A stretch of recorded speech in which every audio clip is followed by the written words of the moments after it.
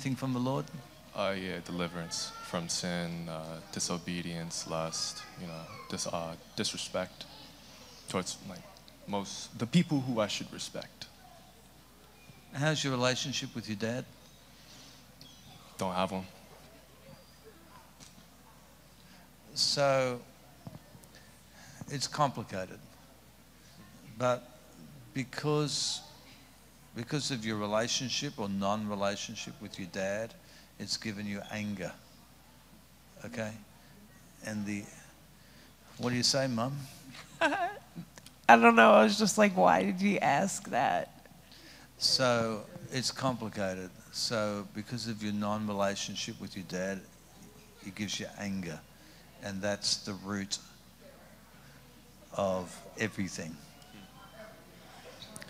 So in Jesus' name, what's your name, Josh? Sean. Sean. Sean, in Jesus' name. Just close your eyes.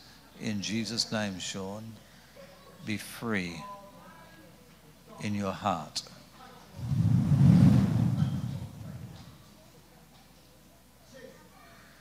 And that's his peace, Sean.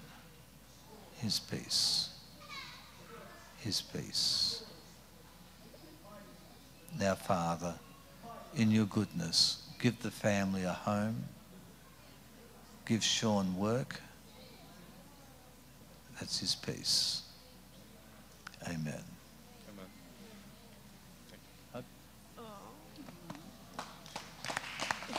God loves you, Grandma. what about you? Need something from the Lord? You got some pain in that body of yours?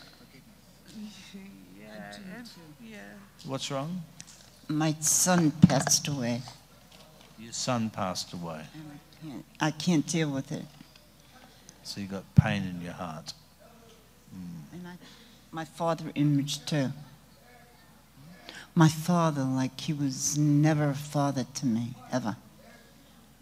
It, it hit a, mm, It hit a chord for her when you brought up when you brought up father for her. It hit a chord for me too. Like I, I couldn't believe that you you asked that like that you went there. It was uh, The Holy Spirit went there. Your father, his father. Hmm? So you lost your son, so, and you can't take it. So in Jesus' name, in Jesus' name, let your heart be whole, that broken heart be whole. In Jesus' name, be whole. In the mighty name of Jesus, I command the pain come out of your heart. The pain going back to your father, the pain of your heart, the pain come out.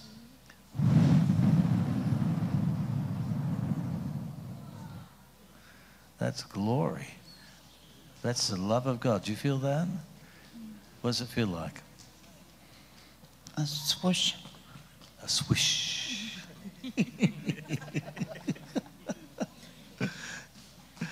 Praise God. Praise God. So, your life, I see your life like goes around in circles, but the circle's always problems. Hmm? yeah, that's true. So it goes around circles because there's no foundation, but Jesus has become your foundation.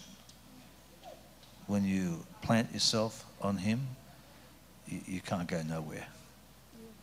But, uh, but up till now, it's like Satan's been having you around problems after problems after problems. And you think you're getting somewhere and you're going around again.